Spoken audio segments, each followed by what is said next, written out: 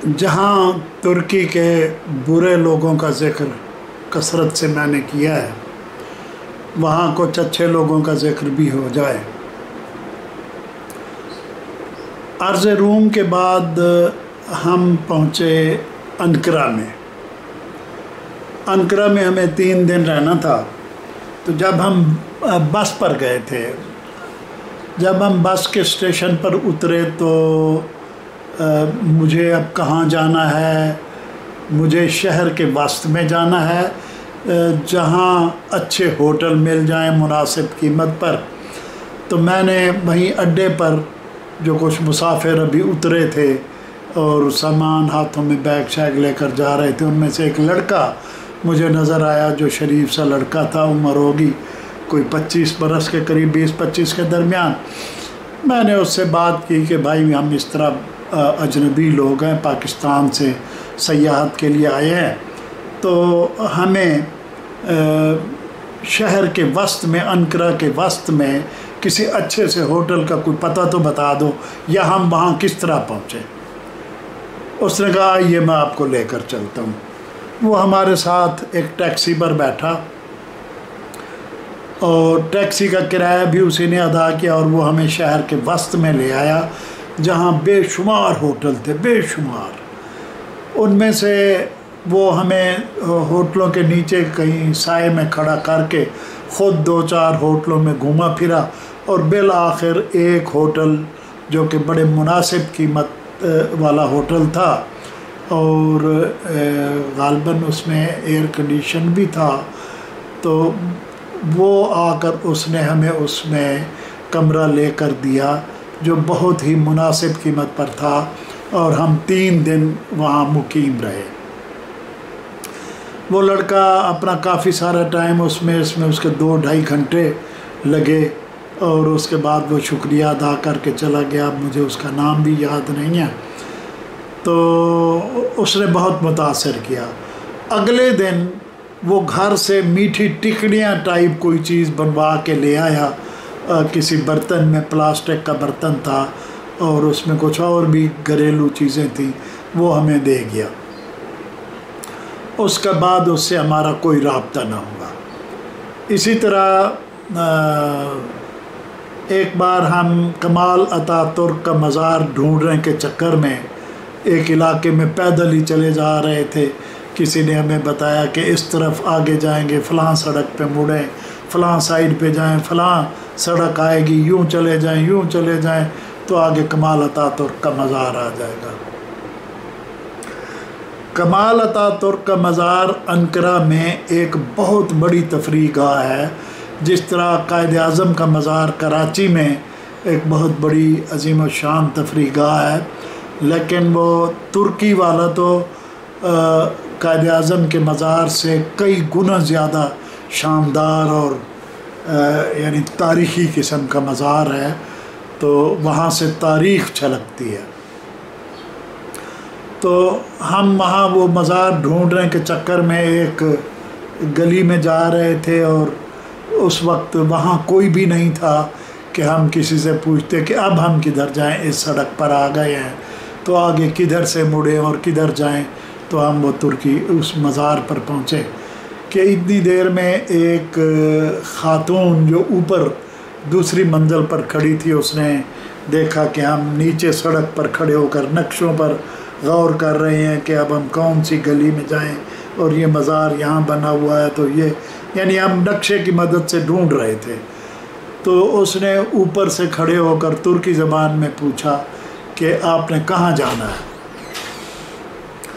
तो मैंने उसे बताया कि हमने कमाल अता तुर्क के मज़ार पर जाना है तो वो नीचे उतर आई। आकर उसने नक्शे की मदद से हमें वो पूरी तरह समझाया कि उसने इशारा भी किया कि वो आगे जो गली राइट साइड पर मुड़ रही है, जब आप वहाँ जाएँगे तो ये फ़लाँ सड़क आएगी, उस पर ज़रा आगे चलते जाएँ तो वो कमाल अता तुर्क का मज़ार आ जाएगा। लेकिन इससे पहले आप मेरे घर में क्या मुझे एज़ाज़ बख्शेंगे कि आप मेरे साथ चाय पिए? तो हमारे लिए ये खुशबख्ती की बात थी, वो बड़ी सुलझी हुई ख़ातून थी स्कर्ट पहना हुआ था उसने। यानी मतलब है, वो कोई इस्लामी लिबास में मलबूस नहीं थी, ना ही उसने दुपट्टा या हिजाब लिया हुआ था।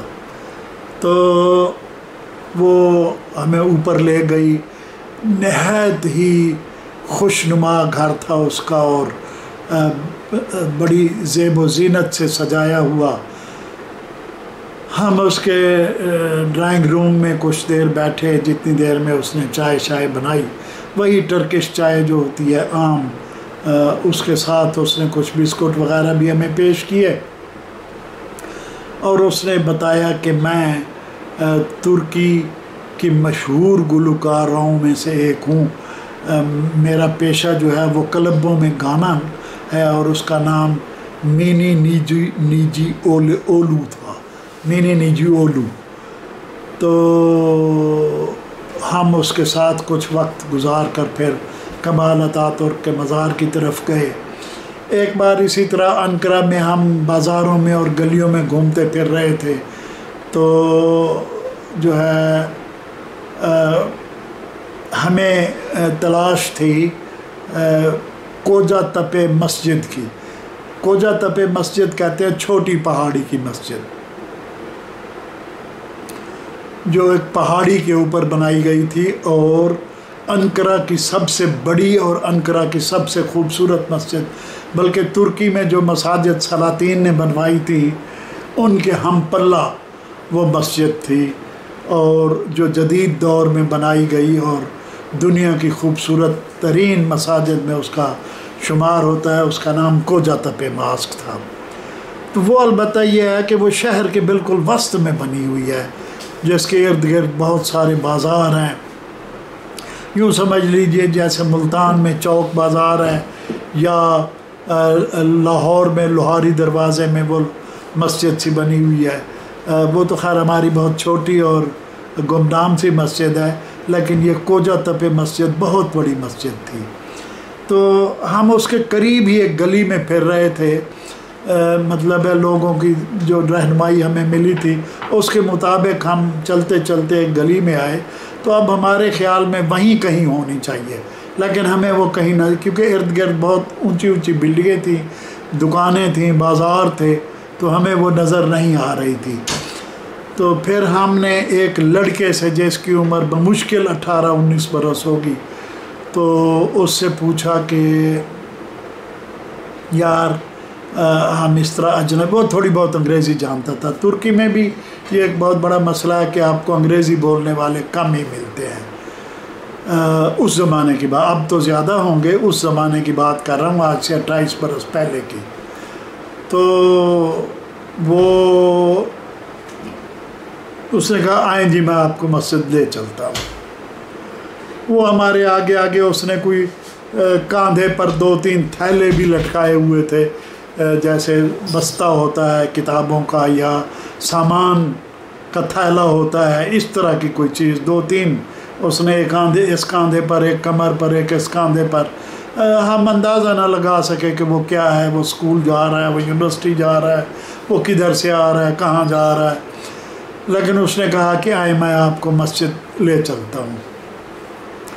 हम जब मस्जिद पहुँचे तो वहाँ हमने सबसे पहले कुरान शरीफ उठाए और दोनों मियाँ बीवी बैठकर सूरत यासीन पढ़ने लगे और वो लड़का भी हमसे ज़रा दूर खड़े होकर नमाज़ पढ़ने लग गया। तो उसने अपना नाम हमें मुतलू शरीफ बताया था, मुतलू शरीफ। तो फिर उसके बाद हमने नमाज़ शुरू की, असर का टाइम था। या जहर का टाइम था। जहर होगी या असर होगी, बहरहाल कोई इसी तरह का टाइम था। तो असर की नमाज़ होगी। उसके बाद जब उस लड़के ने ये देखा कि भाई ये तो बड़े कोई पाकिस्तान के मज़हबी घराने के लोग हैं और कुरान शरीफ भी पढ़ते हैं, नमाज़ भी पढ़ते हैं तो वह हमसे बहुत मुतासर हुआ।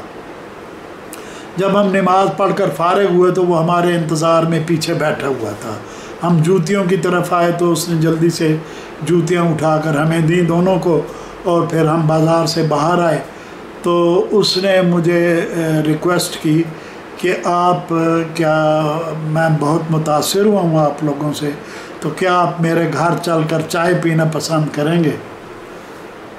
हम खुश हो गए कि चलो इस बहाने हमें अनकरा या तुर्की के किसी घर के अंदर जाकर चाय पीने की सादत हासिल होगी। फिर ये एक लंबा किस्सा है। चलें, वो किस्सा मैं आपको अगली किस्त में सुनाता हूँ।